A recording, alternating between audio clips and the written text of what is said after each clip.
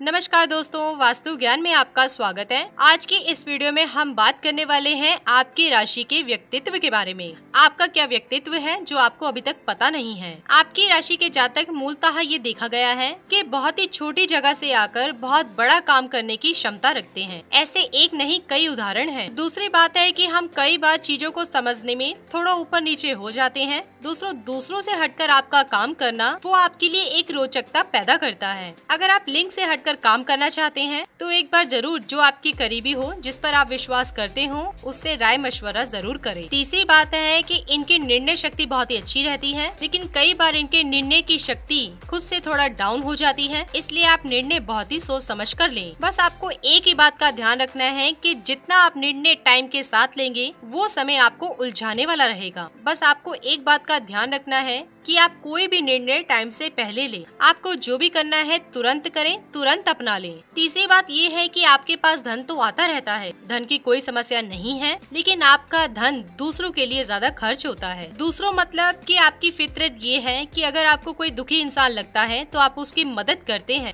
आप उसे पैसे देने में विश्वास रखते हैं और कई बार लोग आपको घमंडी भी समझते हैं, लेकिन ये उनका वहम है। लेकिन वो लोगों की मानसिकता है, उनका व्यक्तिगत नज़रिया है, उससे आपको परेशान होने की ज़रूरत नहीं है। आप किसी का दिल नहीं दुखाना चाहते हैं, उनको खुश रखने के हर प्रयास पूरे करते हैं। कई बार आपको अपने कर्मों को, कर्तव्यों को निभाने में किसी का अहित भी हो जाता है। तो इससे आप अपने आप को पीड़ित और बहुत ज़्यादा ग्लानी समझते हैं। तो मैं आपको बताती हूँ कि आपको ग्लानी समझने की आवश्यकता नहीं है। आपने अपना कर्म किया, जो आपकी नीति थी, आपने वो किया। तो आप इन चीज़ों को अपने ऊपर बिल्कुल भी प्रभाव ना डालने दें, बिल्कुल पॉजिटिव रहें। आपका लाइफ टाइम बहुत ही अच्छा जाता है। अगर आपको कहीं भी कोई समस्या है तो आप खुद को ईश्वर के लिए समर्पित कर दें। इसी के साथ ही दोस्तों, अगर आपको ये वीडियो पसंद आया हो तो इसे आप लाइक कीजिए, अपने दोस्तों रिश्तेदारों के साथ शेयर कीजिए और सब्सक्राइब कीजिए।